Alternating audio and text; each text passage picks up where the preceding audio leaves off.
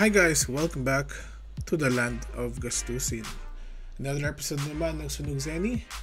Meron tayong uh, bubutasan today. Um, bale, dalawang Gabled, isang Grand Cross, um, Golden Mace, tapos um, Assassin Dagger.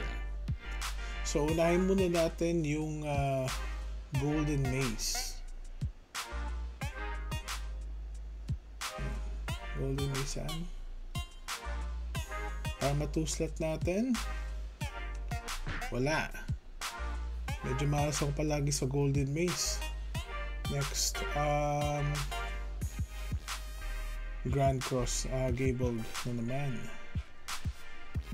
Ayun! May isa tayong Gabled. May isa na ako na two slot eh. So, uh, hanggang hindi pa nabibenta. Let's see, yung second Gabled. Tingnan natin kung wala. Basag. Okay lang, nakisa tayo. Nakisa tayo, bawin na rin. Let's see, last yung Grand Cross at yung um, Assassin Dagger kasi class S to. 10% chance. Na natin yung uh, Grand Cross. Ayun!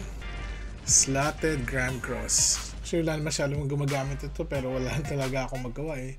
And lastly, Assassin Dagger which is good for well, HPSP.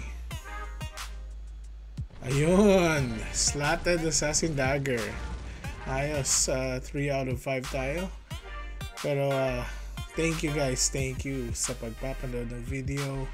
Um, gusto nyo benta, sigurado lalabas din to sa market.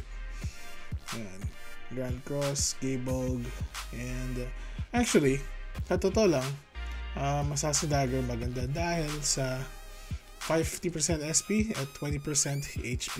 Maganda to for uh, Assassin, especially boss hunting. But thank you guys, thank you.